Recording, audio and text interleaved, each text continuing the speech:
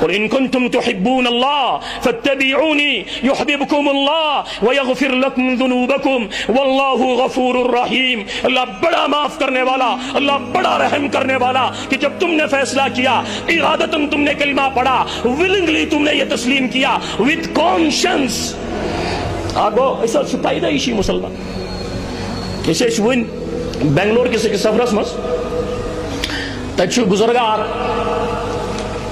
آگ گئی مدارس مگر یم سن نو نحالان لکٹ لکٹ بچے یمن اس مشنرین حوالہ کران باقی مش باقی یم سکول چلاون ول تمن حوالہ کران پتہ ودان سن بچ کیازِ گئی دربدر مگر اس مسلمانن یہ توفیق میلان کہین اس گسو پنس بنیادس پٹ کھڑا پنن بچن دمو پانے تعلیم دنیچ تعلیم تو دینچ تعلیم بہرحال وہ بہت بڑا کام کر رہے ہیں تو تمن اس ٹریننگ پروگرام اس تیس تور گمت تتہ اس خاتون اخ امریکچ غیر مسلم خاتون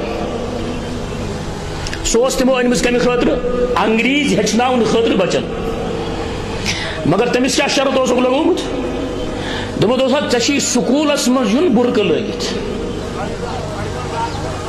خاتون کتی چھ مسلمان چھا نو مسلم تھی چھ تمس اسلام قبول ونی کورمت کی مگر مسلمانن ہند معاشر وچھن پتہ وچم سو یت نتیجس پہ کہ مے پزِ ون اسلام قبول کر۔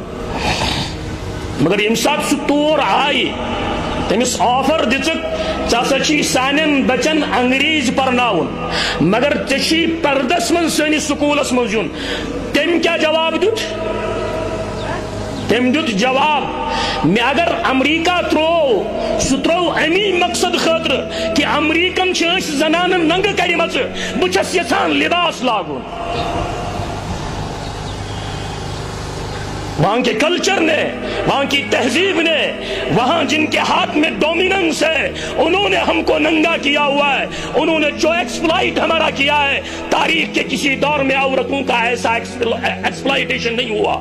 انہوں نے ہم کو ننگا کیا، ہم کپڑے پہننا چاہتے ہیں، اس لیے ہم نے ہندوستان مائگریشن کی ہے۔ آپ کہتے ہو برقع پہن کے آنا، ہم برابر برقع پہن کے آئیں گے۔ اور ہم نے خود اس خاتون کو دیکھا کہ وہ اس لباس میں نہیں تھی جو یورپین لباس تھا۔ پورا اس کا بدن جیسے اوور کوٹ ہوتا ہے۔ اوور کوٹ میں اس گرمی کے اندر یعنی ایک مہینے پہلے کی بات ہے، اس گرمی کے اندر وہ اوور کوٹ پہنے ہوئی تھی۔ اس ورک شاپ کے اندر کچھ بات کرنے کے لیے وہ آئی ہوئی تھی۔